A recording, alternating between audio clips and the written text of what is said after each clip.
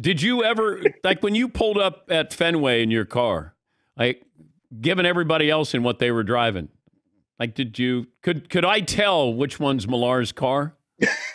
no, I was paycheck to paycheck. You know, I had the Hummer, the H two with the wheels. Oh and the- no! and no. I had the system, and I had one five in the seats, and I had the Harley, and you know, I was a dude. I didn't. I never. My. my I'll tell you this. My number was about eighty five thousand. I never spent one eighty. You know, like everybody's got these. What are these things called? Those Mercedes. Those. Those. Those.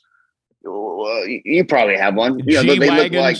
G wagons. Thank you. Yeah. I, I can't spend two twelve on a car, right? I was always at sixty seven Camaro. I was always in that that scene. Best car on the Red Sox World Series team was whose?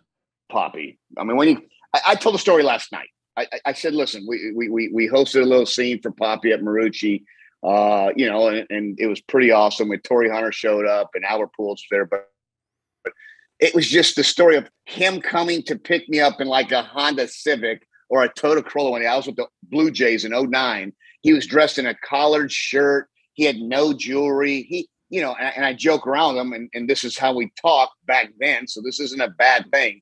I said, dog, you're hitting 180 with zero home runs. You know, you're dressed like a white boy. You look like me, Papi.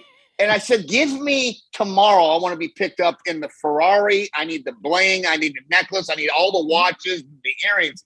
And he goes, bro, you're right. You're exactly right. He came and picked me up the next day. He had the red Ferrari with Papi on the front.